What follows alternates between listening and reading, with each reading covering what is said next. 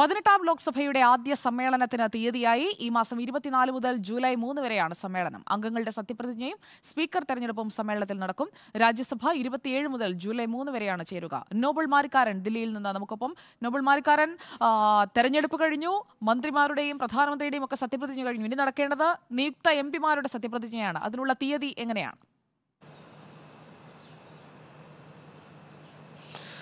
സുജയ പതിനെട്ടാം ലോക്സഭയുടെ ആദ്യ സമ്മേളനത്തെ തീയതി എന്താണെങ്കിലും പ്രഖ്യാപിച്ചിരിക്കുന്നു. ഈ മാസം ഇരുപത്തിനാല് മുതൽ ജൂലൈ മൂന്ന് വരെ എട്ട് ദിവസമാണ് ആദ്യ സമ്മേളനം നീണ്ടു നിൽക്കുന്നത്. ഇതിൽ പ്രധാനമായും സുജയ് സൂചിപ്പിച്ചതുപോലെ തന്നെ തിരഞ്ഞെടുക്കപ്പെട്ട പുതിയ എം പിമാരുടെ സത്യപ്രജ്ഞ നടക്കേണ്ടതുണ്ട്. അതിനു പിന്നാലെ സ്പീക്കർ തെരഞ്ഞെടുപ്പ് വേണം. ഇത് രണ്ടും ഈ ഘട്ടത്തിൽ നടക്കും എന്നാണ് നമുക്ക് ഇതുമായി ബന്ധപ്പെട്ട് പാർലമെന്ററി കാര്യ മന്ത്രി കിരൺ റിജു അടക്കം വ്യക്തമാക്കുകയും ചെയ്യുന്നത്. അതോടൊപ്പം തന്നെ ലോക്സഭയ്ക്കൊപ്പം തന്നെ രാജ്യസഭാ സമ്മേളന തീയതിയും പ്രഖ്യാപിച്ചിട്ടുണ്ട്. രാജ്യസഭാ സമ്മേളന തീയതി വരുന്നത് അതായത് ഈ ജൂലൈ മാസം മുതലാണ്. ജൂലൈ ക്ഷമിക്കണം ജൂൺ ഇരുപത്തിയേഴ് മുതൽ ജൂലൈ മൂന്ന് വരെയാണ് അതും നിശ്ചയിച്ചിരിക്കുന്നത്. എന്താണെങ്കിൽ ലോക്സഭ തുടങ്ങി സത്യപ്രതിജ്ഞയും ഒപ്പം സ്പീക്കർ തെരഞ്ഞെടുപ്പ് കഴിഞ്ഞ ശേഷം മാത്രമായിരിക്കും രാജ്യസഭാ സമ്മേളനം തുടങ്ങുകയുള്ളൂ എന്നാണ് ഇപ്പോൾ വ്യക്തമാകുന്നത്. രാഷ്ട്രപതിയുടെ നയപ്രഖ്യാപന പ്രസംഗവും ഉണ്ടാകും ആദ്യഘട്ടത്തിൽ. അതോടൊപ്പം തന്നെ മറ്റ് ചർച്ചകൾ ഉൾപ്പെടെ അതിൽ ഉണ്ടാകും. അതുമായി ബന്ധപ്പെട്ട ചർച്ചകൾ നടക്കുന്നുണ്ട് എന്നാണ് പാർലമെന്ററി കാര്യമന്ത്രി കിരൺ റിജ്ജു വ്യക്തമാക്കുകയും ചെയ്തിരിക്കുന്നത്. ആദ്യ സമ്മേളനത്തിൽ നമ്മൾ ആദ്യമേ സൂചിപ്പിച്ചതുപോലെ തന്നെ സ്പീക്കർ ആരായിരിക്കുമെന്നടക്കമുള്ള ആകാംക്ഷകൾ നിൽക്കുകയാണ്. നേരത്തെ തന്നെ ഈ സ്പീക്കർ ഘടകകക്ഷികൾക്ക് വേണമെന്നടക്കമുള്ള ചില ചർച്ചകളൊക്കെ ഉണ്ടായിരുന്നു. സ്പീക്കർ സ്ഥാനത്ത് ആര് എത്തും എന്നത് പ്രധാനപ്പെട്ടതാണ്. കഴിഞ്ഞ തവണ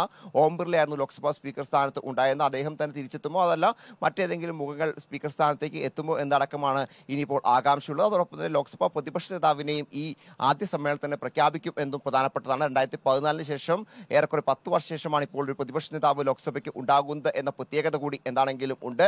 എട്ട് ദിവസമാണ് നിലവിൽ ആദ്യ സമ്മേളനം നിശ്ചയിച്ചിരിക്കുന്നത് സുജയ. ഓക്കെ നോബൽ മാരിക്കാരനാണ് പാർലമെന്റ് സമ്മേളനത്തിന്റെ തീയതി സംബന്ധിച്ചുള്ള വിവരങ്ങൾ പങ്കുവച്ചത്.